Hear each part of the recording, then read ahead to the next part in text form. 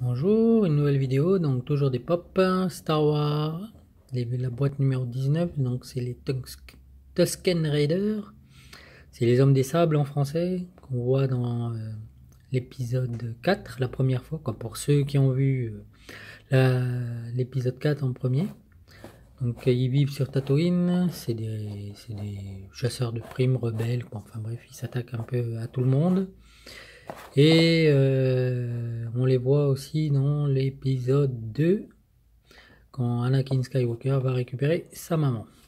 Donc voilà la boîte, donc c'est le numéro 19, la collection, le petit dessin qui va bien, le dessus, et on va regarder la boîte. On va ouvrir.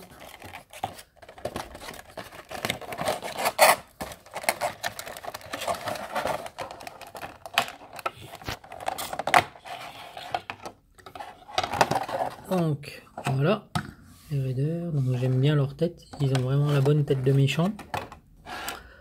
Alors ils sont en tenue des sables forcément puisqu'ils vivent sur Tatooine. Donc on voit on voit leurs armes, une espèce de, de grosse masse. Donc voilà à quoi il ressemble. Il est plutôt bien fait, bien détaillé. Le visage, bon, bah, ouais, c'est les hommes des sables, quoi.